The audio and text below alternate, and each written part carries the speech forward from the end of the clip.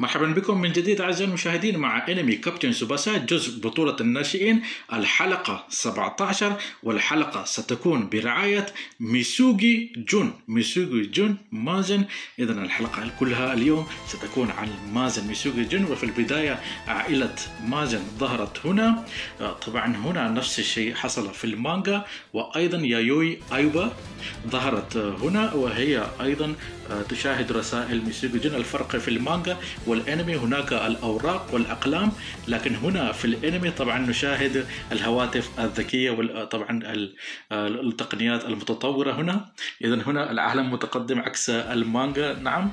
اذا ميسوغي جون يحسب له إنه يشاهد المباراة ويحلل كل شيء بالضبط وأيضا يعرف نقاط ضعف جميع لاعبي المنتخب الأرجنتيني بعدما دخل تجاوز كل اللاعبين.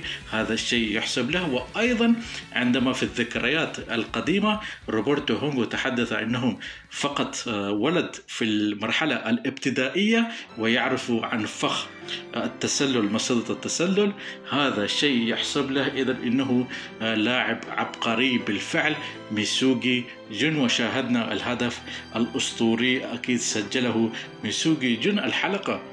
طبعا هنا الاستوديو خرب الحلقة بالذكريات الكثيرة التي حصلت في الجزء الأول والجزء الثاني أي المرحلة الابتدائية والمرحلة المتوسطة نعم الاستوديو عملها هكذا إذا لكن الحلقة بشكل عام كانت ممتعة بالفعل عن ميسوغي جون إذا نأتي مباشرة هنا الآن لسؤال الحلقة وهو هل ميسوغي جون هو أفضل لاعب في المنتخب الياباني للناشئين أي أمير الملاعب أو بالياباني フィールドの貴公子 ميسوغي جون؟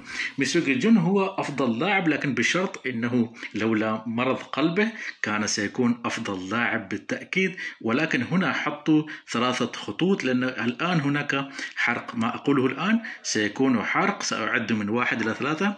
واحد واحد اثنان ثلاثة إذا هنا حرق الآن أعزائي المشاهدين بعد مرور أي انتهاء بطولة الناشئين مرور ثلاث سنوات لن يلعب ميسوغي جون كرة القدم ويتعالج لمرض قلبه. وهنا بينما ميسوغي جون يتعالج هنا هنا سوباسا يحترف في البرازيل لمدة هذه الثلاث سنوات أكيد.